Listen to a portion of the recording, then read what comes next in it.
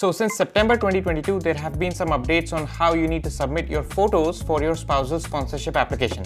So in this video, we'll cover what are the instructions for personal photo as well as your wedding or ceremony photos, how many should you submit, how to prepare them, compress them and what format to use, how to write description and context, and finally where and how to submit them in the online portal. Let's begin. So here's your guide 5289. Always start with this. The latest forms and all the instructions can be found here. So if you scroll down, click on step 3, complete the application and scroll down even further, here you'll get to the document checklist section. So click on this. Here you select your category. We'll stick to spouse for this case. Select your country. And then once you click on get checklist and forms, here you'll get your document checklist. Okay. So since this is a spousal sponsorship, 5533 is the document checklist that's going to be applicable to you. So here's your document checklist. So if you scroll down to page 7, here there are two photo sections. Number one is the photo section for the principal applicant. This is where the principal applicant uploads their personal photo and the photos of any accompanying family members. And then if you scroll down under proof of relationship, which is section 7, if you don't answer yes to any of these questions 7a, 7b, 7c and 7d, then you have to provide documents in 7e. And inside 7E, here's the photo section for your wedding, customary celebrations, engagement and or outings. So let's cover both these sections one by one. Alright, so first up is your personal photo. So this is the photo that will be uploaded by the principal applicant, right? So if you click on this link here, it's going to give you the instructions on how to get this photo ready. So as you can see, this is the front of the photo and they have given the dimensions and everything here and this is the back of the photo with the details that should be mentioned on the back of the photo. And if you scroll down, all the instructions and detail are given here. So I'm just going to explain how my wife, the principal applicant, got this done. So that will give you some idea on how you can get that done also. So basically, she just took a printout of these instructions and went to a digital photography studio and she had her photo taken there. Then the photo that was given to her, meaning this photo which I hold in my hand right now, this is the photo exactly according to the dimensions that are listed in these instructions. And on the back of this photo, she actually wrote these details. So her name, her date of birth, and the date the photo was taken, as well as the name and address of the photography studio. And once she was done, what she did was simply put this photo inside a scanner and scanned the front as well as the back of this photo into a single PDF document. So here is the scan of the photo that I just showed you. Here is the front and here is the back with all the details. And it doesn't really have to be a PDF format, you can even use JPEG or JPG. But as long as you have the front and back and it adheres to the instructions that are mentioned here in this link, you should be fine. Now, when you will open this digital photo in your computer, then whatever software you use, whether you use an Adobe or a photo viewer or preview in Mac, this might not be the scale that the actual photo is. And that's fine. Don't get too caught up in the scale because when you are doing an online submission and you're literally uploading a scanned image, you're not really going to have much window to worry about the scale of the image, all right? As long as you got the job done right with the photographer with this photo and you scanned it, the front and the back, you should be fine. Alright, so here's the online portal where we'll upload this photo and we are inside the principal applicant's account. So in this case, assume that this is my wife's account who was the principal applicant. Then inside your application, if you scroll down all the way past these forms, you will find the supporting documents section. So this is where you will upload your photo. So as you can see, here are the acceptable file types. So PDF is one of the file types that is acceptable. Our file is the PDF type, so we are good to upload it and the file size should be 4 megabytes maximum. So if I can quickly go here and check the size of the photo, as you can see, it's 1 megabyte, so this is good. And I've labeled it according to the instructions mentioned here. So last name, first name, document type. So last name, first name of my wife, the principal applicant, and since it's the photo, I've simply labeled it as photo. So now we are ready to upload, so you'll select photos because that's the category we are working with and here you can simply upload the photo that you just prepared. So that's how you can take care of your personal photo of the principal applicant. If you have accompanying family members, then all their photos will be uploaded similarly. Now let's talk about the fancy stuff. So as the instructions say, photos of your wedding, customary celebrations, engagement and or outings. Provide a maximum of 20 photographs to support your relationship taken at different times and places and then you provide a separate document providing a brief description of context of each photo provided. So let me first show you how I would approach this and then we can discuss some alternatives. So it says a maximum of 20 photographs. So just to make it simple, I've selected 20 photographs from various events in our wedding. So as you can see, I've put them in four different categories, engagement, haldi, main wedding ritual and reception. And obviously these categories can vary depending on the religion and faith that you follow, but the idea is the same. So if I can quickly show you these pictures, these are five photos from engagement. So as you can see, these photos are clearly visible, identify me, the sponsor and my wife, the applicant, and other people are also present here. Same thing for the wedding ceremony. As you can see, the sponsor and applicant clearly identifiable. Other people are also present. So these are good photos. And same thing for the wedding reception photos after the wedding. As you can see, the sponsor and applicant are clearly identifiable. The pictures look clear. Other guests and family are also present. So this basically makes for a good proof that the wedding was publicly acknowledged and all these photos look decent.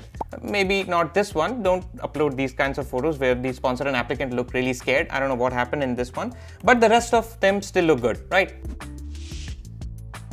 So once you've selected your photos, the next step is to prepare them for upload. So coming back to the online portal, the acceptable file types are PDF, JPG and JPEG.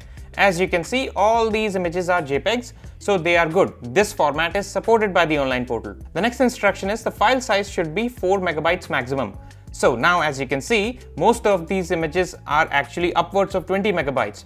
So if I try to upload them, the online portal is going to throw an error. So our next task is to get these photos to a size which is less than or equal to 4 megabytes so that we can upload them to the online portal. So there are multiple ways to compress these images and we'll talk about a few.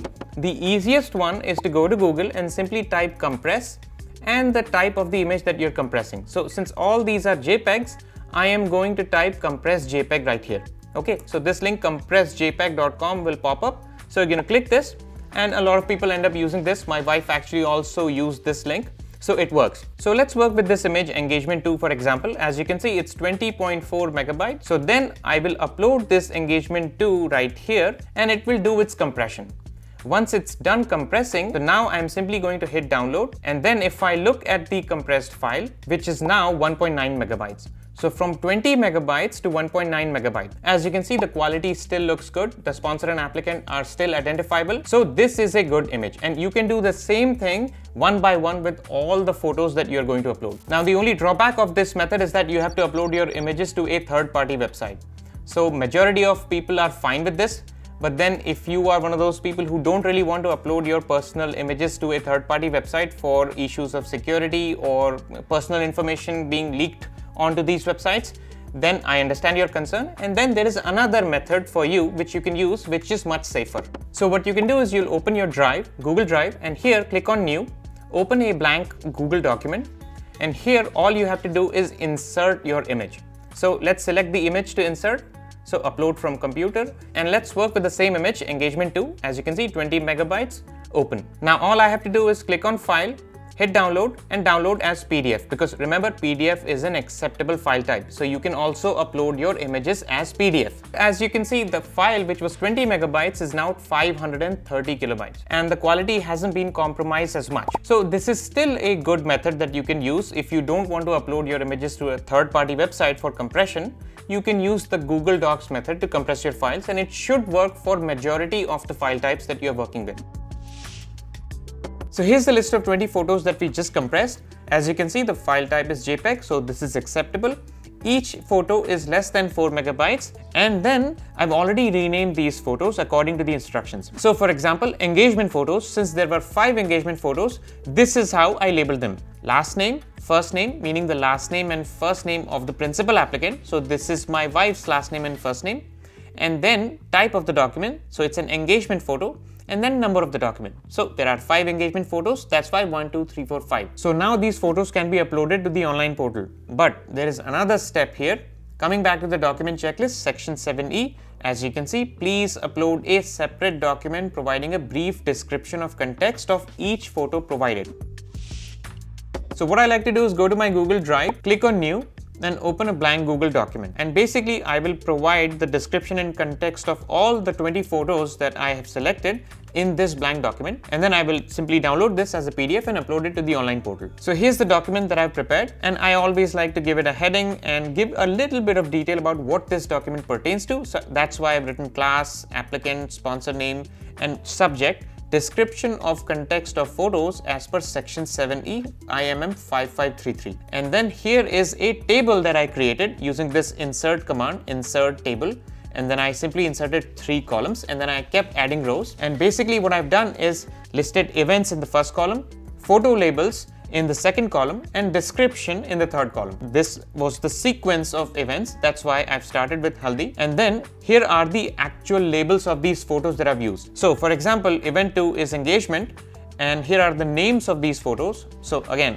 going back to our folder, here are five photos from engagement and these are the labels of the photos that I've created and that's why I have listed them exactly like that so that the officer will be able to relate the description with the photos.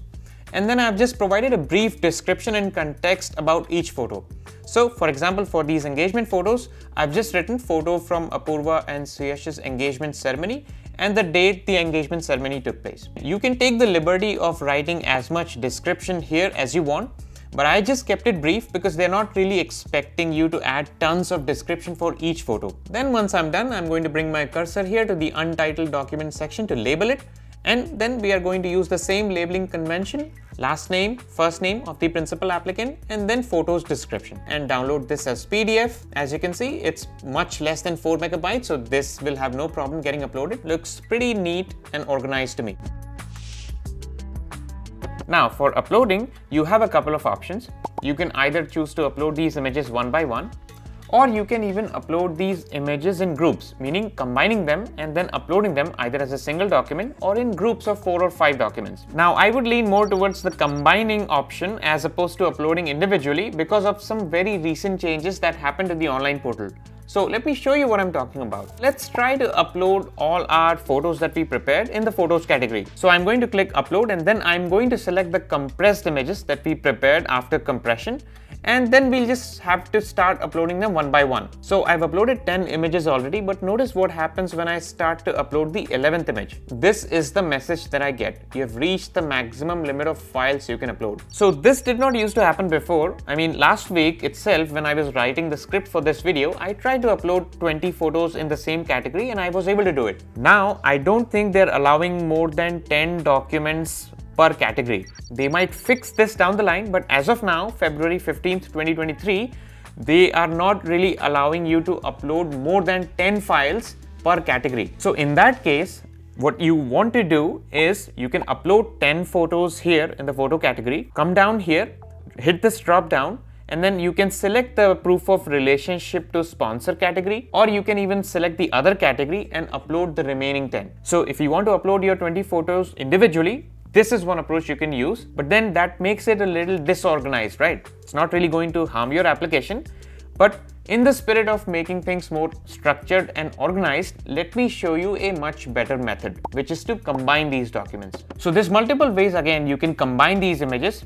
The one that works best for me is the Google document method that I showed you before. Going back to my Google Drive, I'm going to click on new, open a blank Google document, and then what I'm going to do is locate my compressed files folder. And now what I'm going to do is select images from each category. So engagement, haldi, reception, wedding ceremony, and put them in this Google document.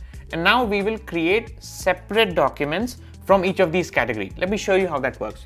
So Let's select all these five engagement photos all together. And then what I'm going to do is with them selected, simply drag them and drop them to this Google document. So as you can see, all five engagement photos are here. Now I'll simply label this. So let's call them last name, first name, and engagement. Just a broader category. Now I'll click on file, download, and PDF. It's 2.4 megabytes. So five photos combine into a single document. And if I open this, let's see the quality. So not that bad. The images still look pretty good to me. Obviously the quality has been slightly compromised, but nothing that bad as to affect your application. The officer is easily going to identify the sponsor and the applicant and the images make a good case. So I'll do the same thing with the remaining categories. So again, select the five haldi photos and export as PDF then select five wedding ceremony photos, export as PDF. So ultimately I will have four different PDF files, each file with five photos inside. So ultimately 20 photos in four different documents. And now that we've reduced the number of documents to upload, we simply go back into the online portal under the photos section or if you don't want, you can simply upload it under the proof of relationship to sponsor section or the other category. It doesn't really matter. I would upload them under the photos section because these are literally photos. And there you go, all 20 photos uploaded through four different files with five photos each. And now you still have five more documents you can upload in this photos category before the online portal will fail on you. So that's the advantage of combining documents and uploading them together as a single document. The idea is to limit the number of documents you're uploading but not limit the information. So now that we are done with the upload part, remember there is also the description and context part. So we'll have to modify the description according to this new method of combination of images that we've selected. So I've kind of already done that for you. Again, this is Google Documents and this is the document that I've created. So this part remains the same. This is a little bit of context and description of what this supporting document pertains to. And then here is the table. As you can see, events in the leftmost column, then document labels instead of photo labels because these are all PDF files, and then description. For each event, this is the document that we have uploaded, and this is the exact label of the document in the online portal. And then here is the description for that document. So, for example, for last name, first name engagement, the description reads 5 photos from Apurva and Suyash's engagement ceremony and the date was December 14th, 2020. So again, before I forget, just to complete the process, hit File, Download, PDF. This file is ready. So again, coming back to the online portal, hit Upload and now the description of this is also uploaded in the photo section. So I would prefer this method over uploading your documents individually, the reasons I just showed you. Or if you really don't want to do this, there is another method. You can just combine all your 20 images into a single document using the same Google Documents method that I showed you. Export it as PDF and then provide description altogether. The only problem that I see in combining all your images into a single document would be that your images may get too compressed when you export them into a PDF file and then they might not really be as clear as you would want them to be. So if it works for you, then go ahead, do that, combine all images into a single document. But if not, then I would stick with this middle ground that you can make groups of four and five and then upload those as four or five documents just to reduce the number of size in the online portal while still making sure that the images look good. So a lot of applicants often wonder if they could upload like 50 or 60 or even hundreds of photos just to make their application stronger. So again, I'm going to point you back to the instructions. They are asking for a maximum of 20, meaning if you have even a few less than 20, you should still be fine as long as you can make a good case. But they certainly do not expect you to upload dozens of photos over the limit. First of all, it's not in the instructions. And second, think of it from the officer's point of view. It's just too much work for them to handle. So my recommendation would be to stick to the limit, upload a maximum of 20, a few less than 20 or maybe a one or two more than 20 should still be fine but don't just go overboard with uploading your photos. As long as you can make a good case, you should still be fine while staying within the limit. So just like photos, there is another item under section 7 which is proof of contact. That also causes a lot of confusion. So here's a video where I have discussed it in detail. I'll see you there.